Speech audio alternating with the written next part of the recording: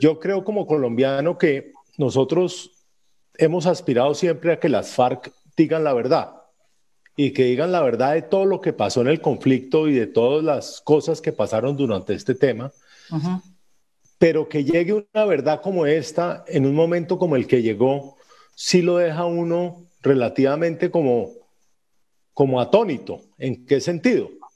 Primero, fue una verdad que llegó porque primero Piedad Córdoba sacó a relucir como ese cuento, ¿no? Piedad Córdoba salió y contó, y dijo, es que yo sé quién mató a Álvaro Gómez, que no sé qué vainas, y de esa manera al final se fue encauzando hacia las FARC. Segundo, eh, la muerte de Álvaro Gómez había sido, eh, se había vuelto un, crimen de, lesa humanidad y de esa manera, pues ya no tenía tiempo para su, para que dejara de, de, de hacerse. De, exacto. Entonces, la fiscalía estaba volviendo a mirar todos los temas y estaba empezando a llamar a juicio, a juicio no, pues a, indagatoria a determinadas personas. Y tercero, pues lo que ha venido Enrique Gómez Martínez, que es el abogado de la familia Gómez, con su, la teoría que tiene desde hace mucho tiempo es la teoría del cartel del norte del valle. Y él ha venido manejándola con con este señor Londoño que se murió y con todo ese tema. con Nacho Londoño. exactamente. Entonces, sí le causa a uno como un tema de decir, oiga, si será verdad o de qué sirve que las FARC estén diciendo esa verdad. Entonces yo digo, oiga, de alguna manera que no sabía lo que decía el doctor Jesse Reyes, porque yo pensaba era que, que si la JEP decía, oiga, yo cojo esto, se lo quito a la fiscalía, pero ya entiendo que pueden seguir los dos por, por el mismo camino, que eso se me hace fundamental. Claro, lo único que no pueden es, es, llamarlos a testificar en, eh, a, a la fiscalía.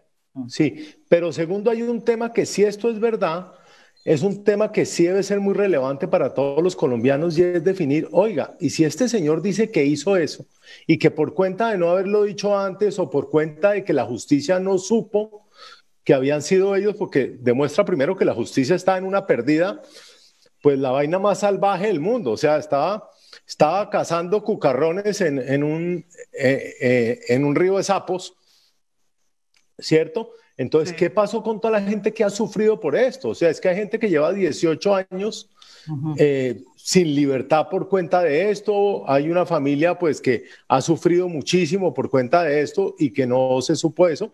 ¿Y qué, puede, qué consecuencias puede tener para estas personas de las FARC diferente a que puedan, a que tengan que sembrar coles en una finca? Esa verdad. Pero también es importante qué pasa si no es verdad. O sea, si de alguna manera lo que está haciendo las FARC o estos miembros de las FARC... ¿Usted cree que no es verdad, José Miguel? Esa es la pregunta. Pues yo creo más en lo que dice Enrique Gómez y, creo en la teoría más de Enrique Gómez que en lo que, que lo que dicen las FARC, porque pues ha sido una teoría que yo siento que él ha venido trabajándola y él ha venido investigando muchísimo sobre el tema. Pero lo que pasa, ¿qué pasa si no es verdad? O sea, que de alguna manera están tratando de desviarla, desviar hacia otra parte una cosa, o sea, ¿qué riesgos puede tener para las mismas FARC y para estas personas estar haciendo esto? Yo creo que ese es el, ese es como el quid del asunto, ¿no? Pero usted Porque cree eso es a lo que debe llegar la JEP. ¿Usted cree que las FARC están mintiendo y que no importa si mienten porque la JEP no les va a hacer nada? ¿Esa es la tesis? No, yo pienso que si ellos están mintiendo y la JEP se da cuenta que ellos están mintiendo, pues la JEP debe actuar y debería volverse a la justicia ordinaria, como creo que lo dice la norma, y ellos ser juzgados por la justicia ordinaria y ya no por la JEP.